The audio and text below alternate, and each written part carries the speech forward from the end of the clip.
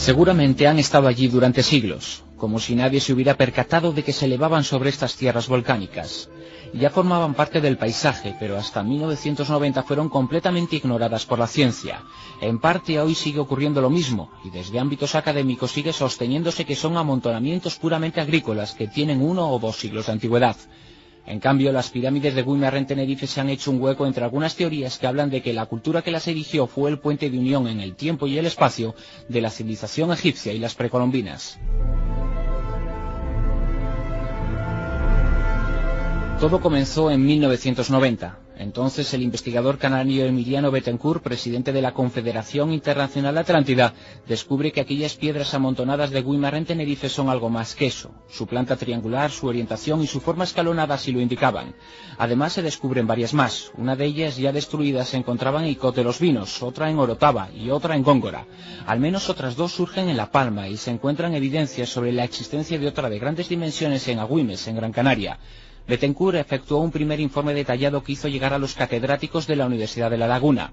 La respuesta de entonces sigue siendo hoy la oficial de la arqueología canaria. Son fruto de la limpieza de los terrenos con fines agrícolas. Hoy, pasada más de una década, las autoridades siguen desoyendo a todos los expertos. Especialistas de reconocida solvencia internacional que piensan lo contrario y que defienden que se trata de auténticas pirámides.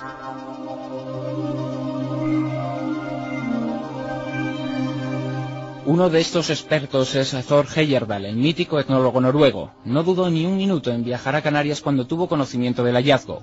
Lo hizo en julio de 1990. Ya no abandonaría las islas. Ha creado en Weimar un parque etnográfico en donde el explorador se ha afincado y desde donde trata de demostrar que entre las primeras civilizaciones constructoras de pirámides establecieron vías de comunicación a través del mar. Así lo sospechan otros estudiosos que se han acercado hasta allí, como Robert Bowell o Graham Hancock, quienes han podido comprobar cómo las pirámides están orientadas hacia la salida del sol en el solsticio de verano. Además, parecen dispuestas de tal modo que se puede seguir gracias a ellas el recorrido del sol y marcan la posición de algunos astros del firmamento.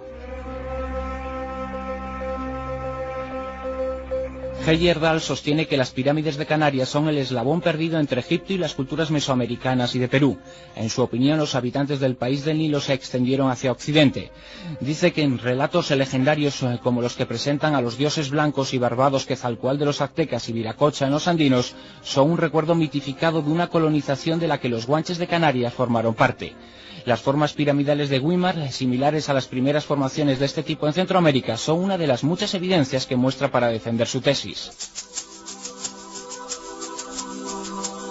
Mientras tanto, y salvo en el caso de Heyerdahl con su esfuerzo por conservar las pirámides de Weimar, la ciencia canaria sigue desoyendo el clamor que insta a investigar el enigma. El hecho de que estén orientadas astronómicamente no les ha hecho claudicar. Lo admiten, pero aseguran que ello se debe posiblemente a que fueron erigidas sobre un santuario aborigen y que quienes levantaron las construcciones, agrícolas para ellos, hace algo más de un siglo, pudieron tener alguna inclinación hacia la astronomía. Sospechan que quizá pueden tener mucho que ver con los masones asentados en las islas.